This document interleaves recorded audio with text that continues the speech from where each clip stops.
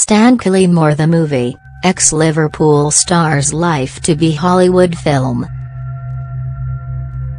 The controversial striker, who was once caught dogging, is set to follow goal hero Jamie Vardy and take his story to Hollywood.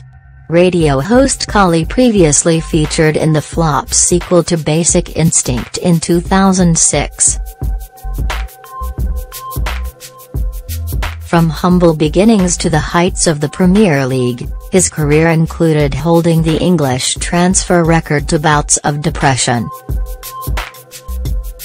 Stan's story is definitely of interest in 1998 he assaulted then-girlfriend Ulrika Jonsson before being caught dogging in 2004. But he turned his life around to become a respected football pundit and campaigner on issues such as mental health. A source said, Stan's story is definitely of interest.